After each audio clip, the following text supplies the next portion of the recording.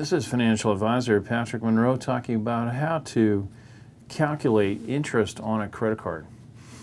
Interest on a credit card can vary from 0% all the way up to close to 30% depending on your credit and also depending on offers from the credit card company.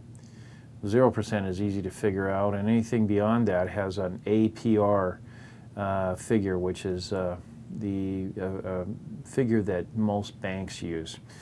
Uh, any figure that is uh, within your budget to pay is a reasonable figure uh, as well. If you're trying to reestablish credit after some bumps in the road with credit, the rate that you pay uh, will reflect your credit challenges. Many times your rate will be uh, double digits until your credit report gets better where it will fall down to the lower single digits.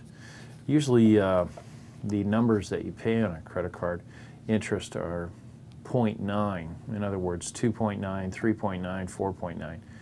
These are just the way banks do it. This is Patrick Munro talking about how to pay interest or calculate interest on credit card statements.